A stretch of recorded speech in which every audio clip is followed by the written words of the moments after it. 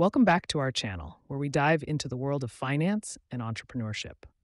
Today, we're tackling a topic that's crucial for anyone looking to invest in or launch a startup new venture valuation. So, what makes valuing new ventures so unique? And how can you get it right? Let's break it down. Valuing a new venture isn't like valuing an established business. Higher risks, greater uncertainties, and the potential for exponential rewards make it a whole different ballgame.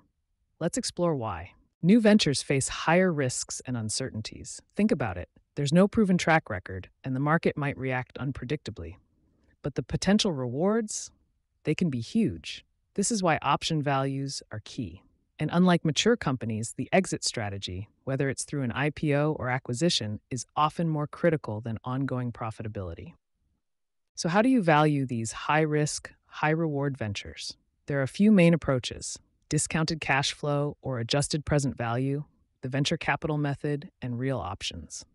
Let's break these down. Adjusted present value APV is often preferred over the traditional weighted average cost of capital WACC method because it offers flexibility in dealing with complex capital structures and varying tax shields, which are common in new ventures. Here's how it works 1. Calculate free cash flows FCF for an all equity firm. 2. Discount these FCFs at an all equity discount rate. 3. Calculate terminal value using a perpetuity model. 4. Value tax shields separately. 5. Determine equity value by subtracting the market value of debt. By breaking it down like this, APV helps us capture the unique financial dynamics of a startup. Next up is the venture capital method. This approach is pretty intuitive. Start by forecasting sales or earnings, estimate when the VC will exit, and value the company based on comparables. The trick here is the high discount rates, sometimes between 25 cent to 80%, which account for the additional risks. Take victorleungtw.com, for instance. With forecasted earnings of $100 million and a 50% discount rate, the pre money value comes out to $8.2 million, giving the VC a 38% equity stake. So, why are these discount rates so high? It's not just about systematic risk.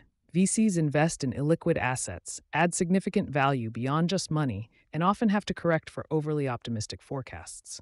Plus, the power dynamics between VCs and entrepreneurs can drive valuations. An alternative to high discount rates is scenario analysis. By modeling different scenarios, you get a better grasp of the risks and can make more informed decisions. This method is all about flexibility, adapting as new information comes in. Valuing new ventures is as much an art as it is a science. With the right methods, you can navigate the complexities and make informed decisions. Thanks for watching. If you found this video helpful, make sure to hit the like button, subscribe, and ring that bell for more in depth finance content. See you in the next one.